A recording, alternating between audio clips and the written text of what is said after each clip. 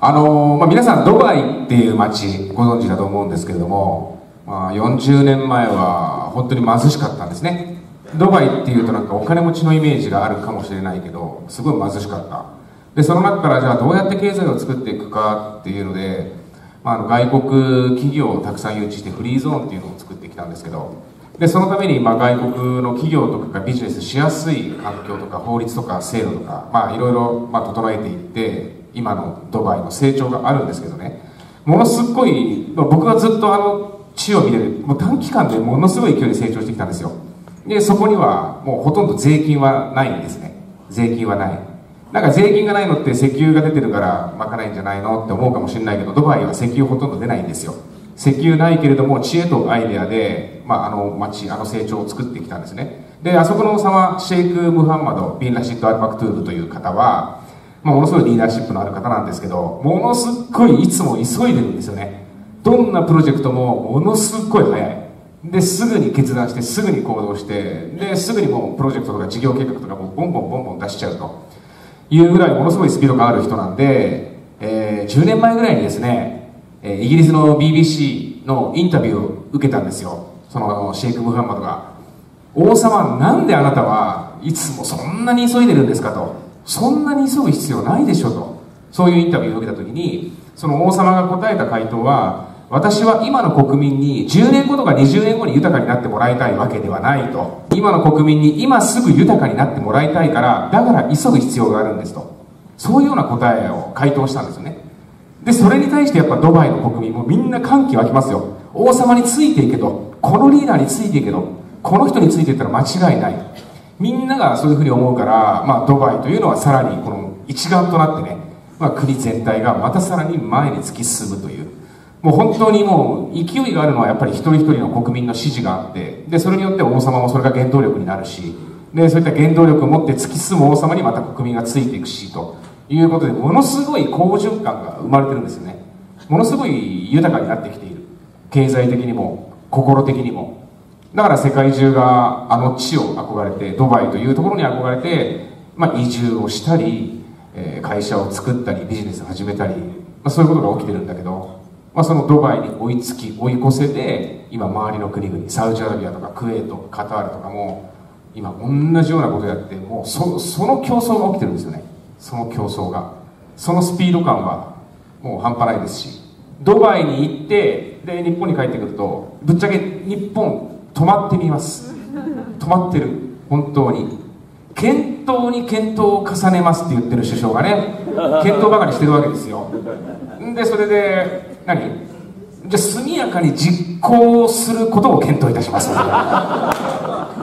こまで検討するのか。本当検討しでしょ？ドバイもサウジもクウェートもカタールもそうじゃないんですよ。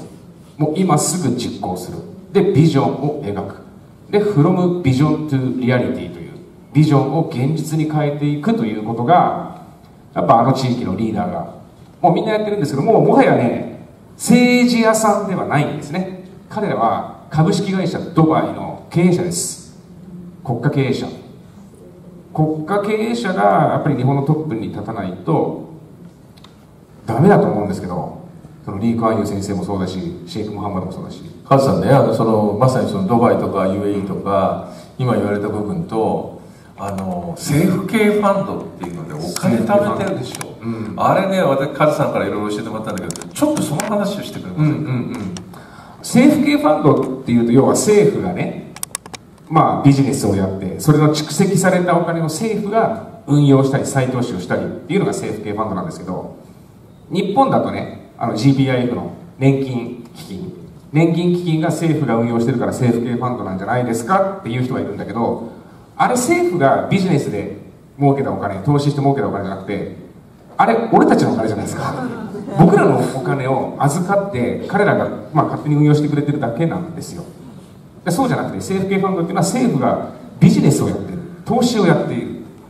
でそれが政府系ファンドなんですけど、まあ、例えばドバイもアブダビもサウジアラビアもカタールももうみんなあの辺はもう何年も前から政府系ファンドっていうものを作ってで50年後100年後の国家財源というものをきちんと100年先まで読んで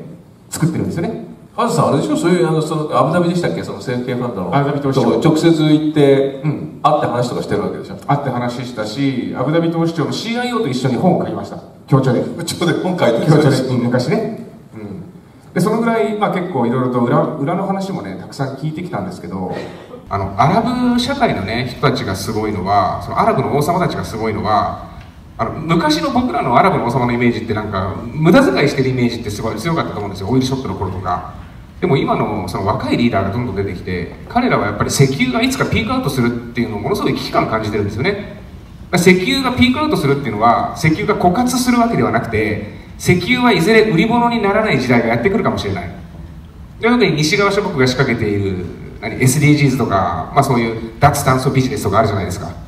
ああいうような、ね、仕掛けにこうやってうまく巻き込まれてしまうと産油国はもう収入源なくなっちゃうわけですよ。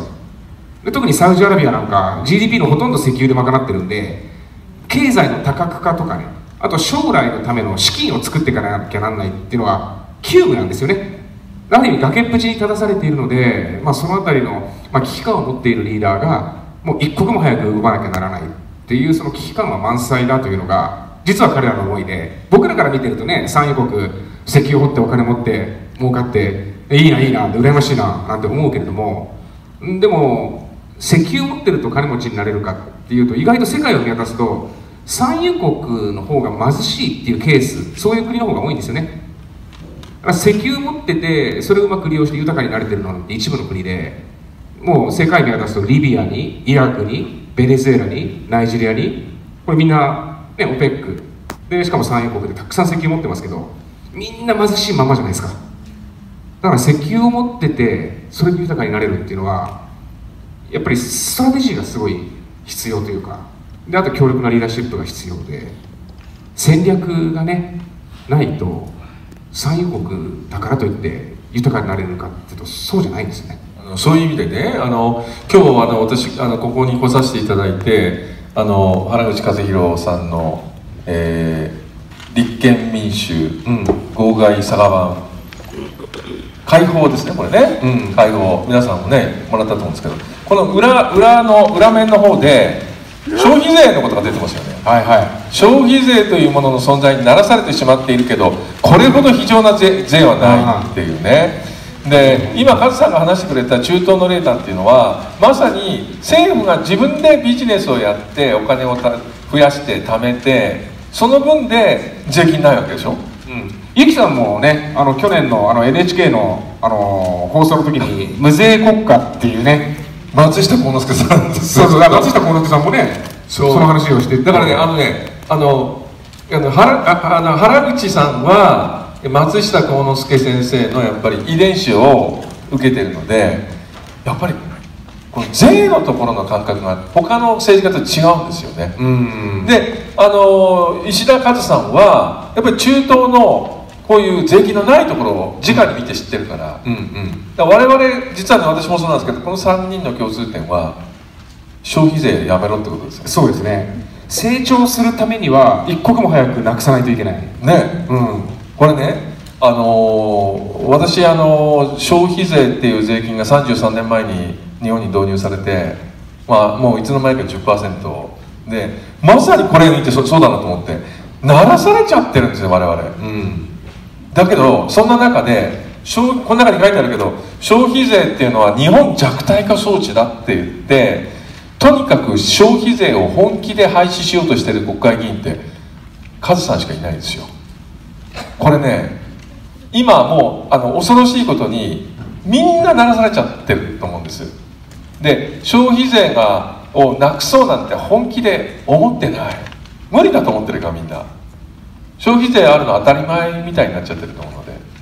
だけどあの原口さんが言う通り日本弱体化装置だったらこれ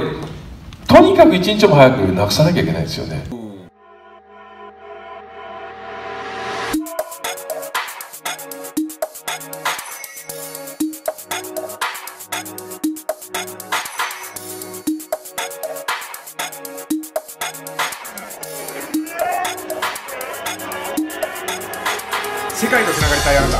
待ってます。